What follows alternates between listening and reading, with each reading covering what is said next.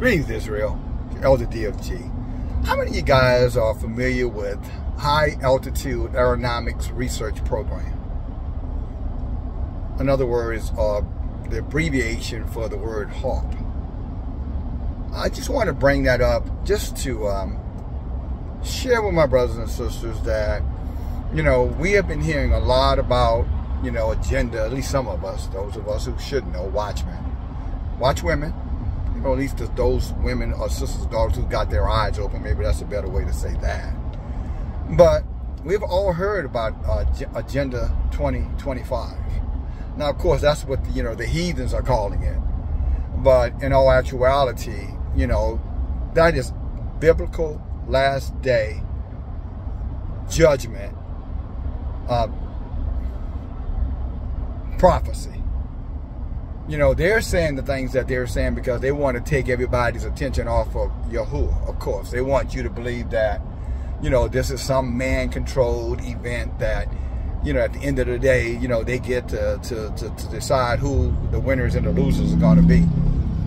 But in all actuality, you know, they deceive themselves, and unfortunately, they deceive the masses because the masses you know, are not aware of what's going on because the masses, you know, have their minds everywhere but on Yahuwah and his Torah, learning and studying and growing and staying informed so that whatever wicked agenda that the Most High is allowing to happen, because he brings forth good and he brings forth evil, for those of you who don't know that, you know, it's just to make sure that you stay distracted or they stay distracted, you know, so that, you know, what they're doing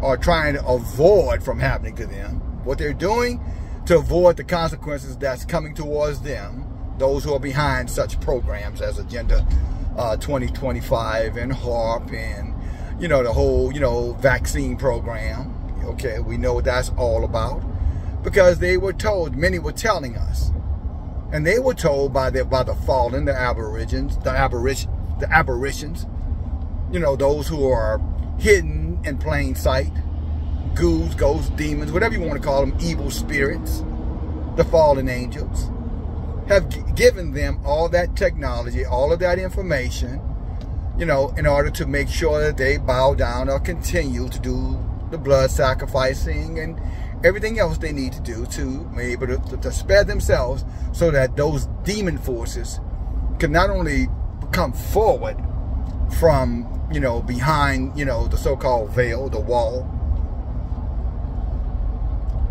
Antarctica, wherever they are, the oceans, marine spirits, so that they can be strengthened and that they can dominate and rule on top of this earth as their ancestors did prior to the days of, you know, the flood.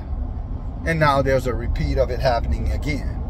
And I bring this up to my brothers and sisters because when you think about, here's an example uh, with HAARP, that hurricane, it was named Beryl, you know, that was barreling through, you know, the uh, Atlantic and then through the Caribbean islands and now going up through, you know, Houston areas, more or less a tropical storm depression uh, most likely at this particular time.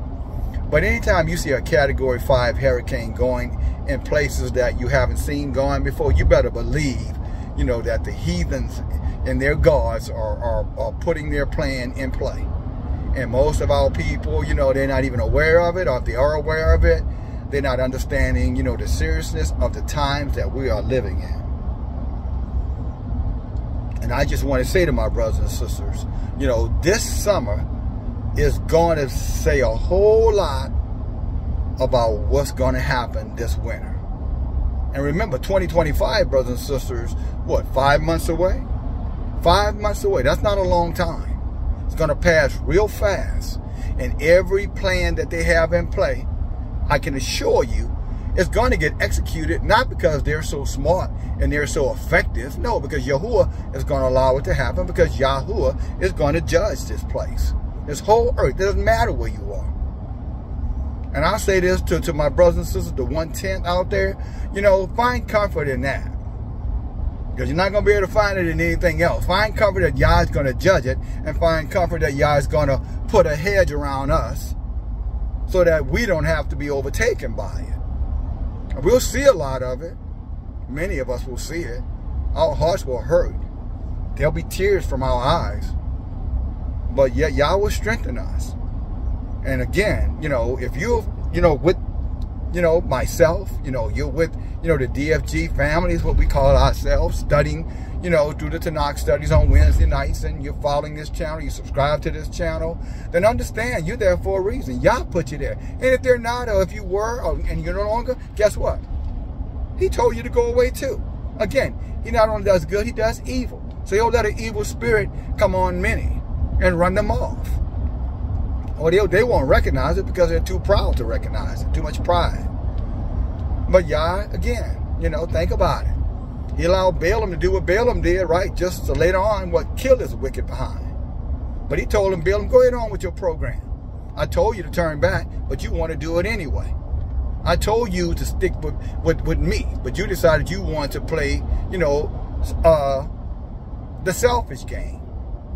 You wanted to be all about you, Balaam. And so if you were in the Tanakh study uh, this past Wednesday, you know ultimately what happened to Balaam. yeah, I got him.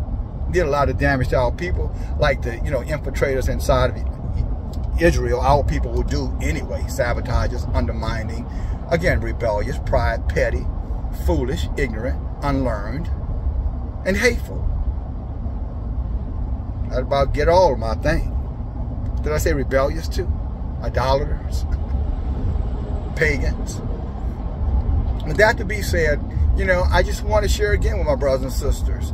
Keep your eyes open. We were reminded, you know, in, in, in the last day prophecy from Isaiah that, you know, in the last days, you know, when the, um, what how do you say it, my brother? Desolation, uh, the land being uh, in, it in, inhabitable. In other words, you can't, in, inhabitual or inhabitable.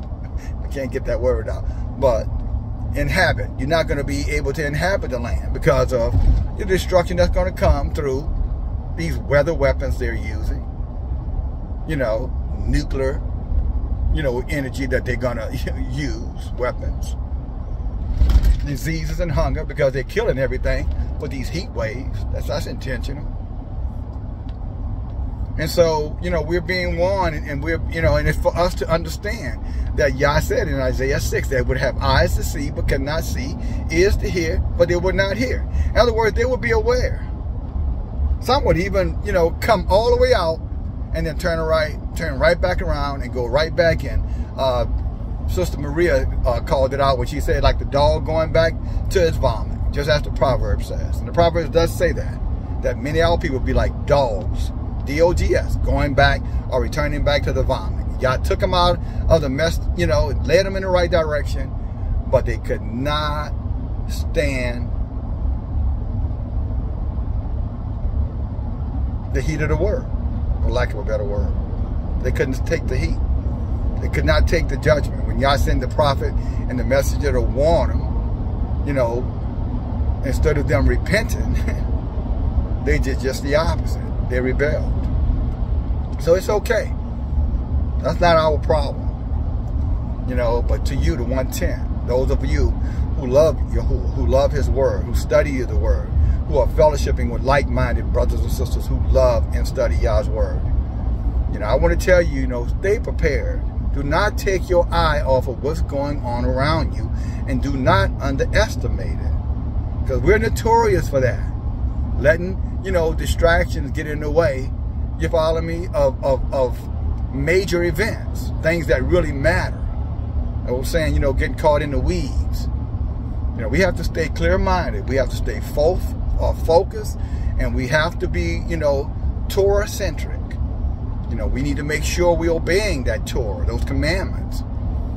You follow? We need to make sure that we're obeying Yahuwah's uh, Shabbat. I know a lot of the, you know, these heathens told us it didn't matter and, you know, the Shabbat is no longer here or it's an eternal Shabbat. They're lying their asses off. And you shouldn't believe them. And again, I've said before, that New Testament book is full of sorcery lies. Talking about, you know, all kind of aberration, things coming back from the grave, you know, and people talking and having visitations. It's wicked as wicked could be. The whole book over there is wicked. Yeah, there's some truths over there, but I can assure you, if you're studying your Tanakh, you'll see where they plagiarize all of that stuff that's true over there. They plagiarize that, and the rest of it just sorcerer's lies, brothers and sisters. And we should have a, a righteous indignation against that book, and we have a right to have a righteous indignation to anybody who's trying to perpetuate that book up on us.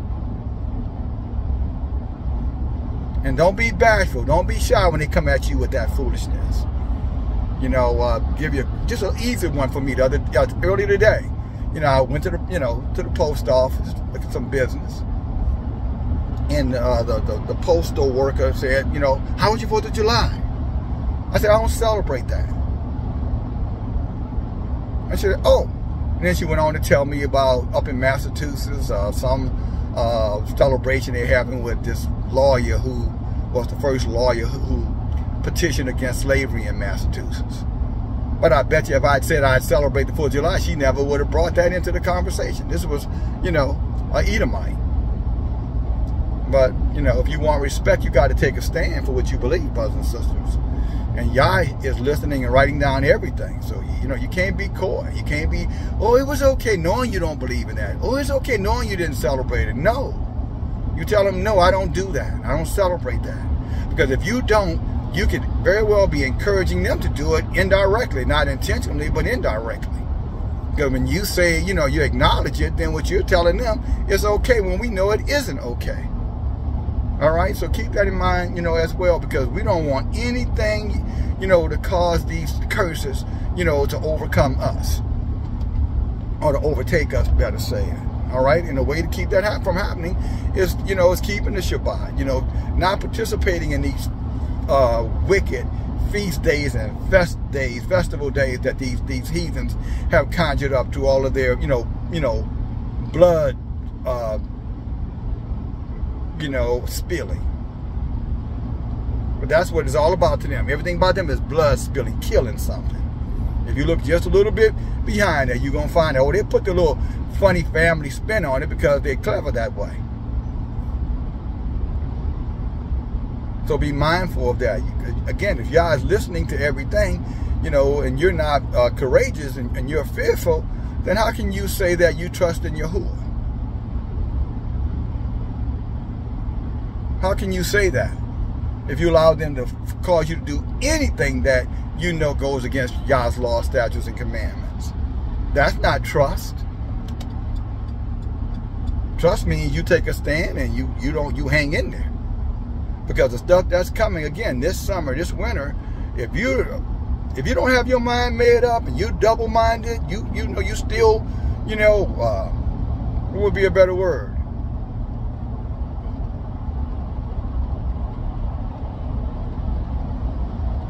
I guess, unsure, afraid, then you know it's time to, to, to get yourself strong because you're gonna you're gonna you're gonna get harmed in ways you cannot even imagine because Yah is gonna pull down this fire on these on this these, this wicked earth. And he is not going to be playing brothers and sisters. He is not to be a joke. They think it's a joke now because you know they they, nothing has happened. At least nothing, you know, on a scale that they think is, is you know what I'm saying, is in time, you know, level. Catastrophic. They don't, they don't, they don't, they don't, because nothing catastrophic has happened. So they look at it like, oh, that's just over there. Oh, that's just down in Jamaica. Oh, that's just here. That's just there. They don't understand there are things happening all over this earth. This country don't report on that stuff anymore. The news is just for programming you to believe whatever the hell, you know, the, the hidden hands want you to be thinking. Control you. Why they call it television. Program, programming, seducing spirits, divination. It's all that television is. It's a, div it's a divination box to cast spells on individuals who can't seem to, you know, break away from it and, you know, and give that time to, to Yah and to his Torah and his Tanakh. With so little time left, what do you think your priorities ought to be? What's coming on television? What's happening on TikTok? Or what is that book saying in order that you will get Yah's mercy and Yah's grace. If everything written is coming, written that is coming, brothers and sisters, we're talking about months, not years away. So I think, you know, it's time to hunker down if you're not certain. It's time to hunker down if, you know, you've been, I'll call it wavery minded, back and forth. I'm going to come, I'm going to go, I'll come when I get time. I'll check in. No, y'all don't work like that. Either you're all the way in or you're checking out. In other words, you're going to get left out. Somebody got to say it. You know, it's time for grinding. It's time to grind it to powder, as the old saying go. We need you need to you need to have your mind on Yah. You need to have and you can't have your mind on Yah if you ain't studying his word. So cut that out. That's that Christianity stuff. Well, he knows my heart. Well, Jeremiah 17 and 9 said, yeah. And he says, definitely wicked, unimaginable. See, I try to, your works. I try what you do. Y'all say, I don't care nothing about what you say. I, I, I try your action.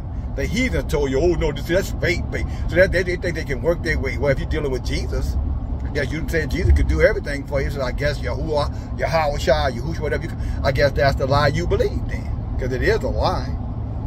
That Tanakh and Torah say Yah is going to watch what we do, brothers and sisters. He says, I, I try the ways of a man. I try your act. I try, I watch, you know, what you do. Our life should be like, you know, like a like a husbandry or a farmer planting seeds and and there in crops coming up. That's exactly what Jeremiah 17, 9, you know, uh, speaks to 10. Read it for yourself. You know, take my word for it. But at the end of the day, my word is true because I'm going to tell you what Yah said, whether you like it or not. But that to be said, you know, it's a tough time coming, brothers and sisters. I think that category, in June, a category five hurricane, come on, guys. Seriously. There are all these other, you know, events that are happening worldwide, hunger, hailstorms, you know, in places where it never even rained before. Dubai, places like that. What the heck is going on?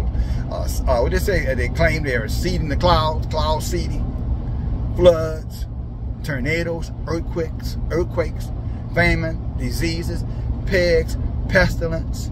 We talked about that again, you know, in 4 Ezra on Shabbat. Go read it, chapter 15. Read it for yourself or go back and look at the Shabbat message uh, on the channel. And then line it up. Line up on line, precept on precept. Isn't that what we taught? Not only in God's word, we're supposed to be looking at the events and lining that up too. What are the indicators? What are the signs? How do I know? Where do I fit in? Am I in? Am I in? Or am I out thinking I'm in? Your actions to speak a whole lot louder than words with that one. So I just wanted to just, you know, share with my brothers and sisters that, you know, you know, I don't say well, this summer, summertime is here. Yes, it's summer.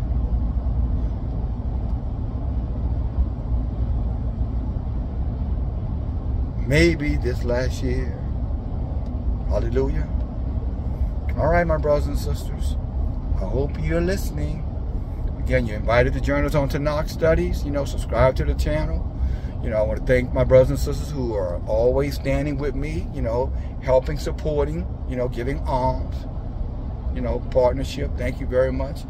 Uh, I want to thank, uh, what is it, uh, Sister Greer, uh, brother, uh, Sister Stewart, uh, Brother Mobile Mechanics, Brother Johnson, Sister Jackson.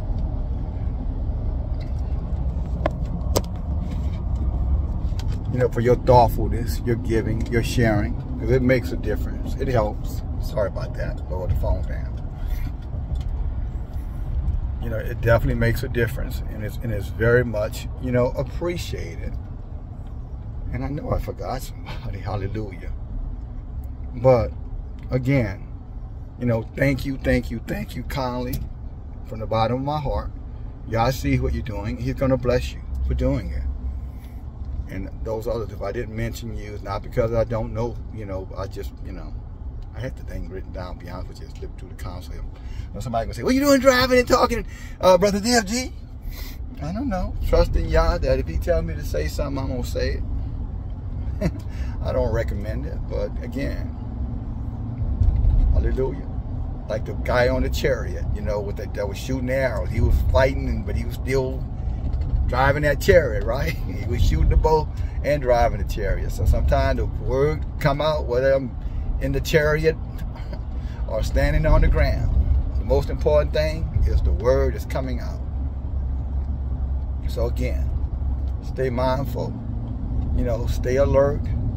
Don't don't underestimate these indicators that we're seeing, brothers and sisters. You know, the demons, you know, they're trying to get back here. They're trying to get control of what's going on. They're back here, but now they're trying to get control. The monoliths are, starting to come up again. Uh, Sister Tammy, I think, sent me something on that just recently. But this, again, it's just so many different things that are happening, brothers and sisters. So many things. And if you're not aware of those things, then that's why you have a watchman. You know, to, to, to bring those things to your attention. You should have one. Hallelujah. Well, you got this one. if you choose to, you know, be here with us, with me. But again, I just want to say to my brothers and sisters, be careful, be mindful, you know. Don't listen to all these naysayers out there talking about, oh, ain't nothing happened. They've been saying that. They're always saying that kind of stuff. Until something actually happens, praise Yah. I found what I was looking for. Hallelujah. Brother Starks, yeah, okay. Thank you. I'm going to go through the list one more time. Brother Johnson, uh, Howard, Greer, Mobile, Mobile Mechanics, Stewart Starks, and Jackson. Thank you guys, ladies and gentlemen, brothers and sisters, and all you others too. Hallelujah.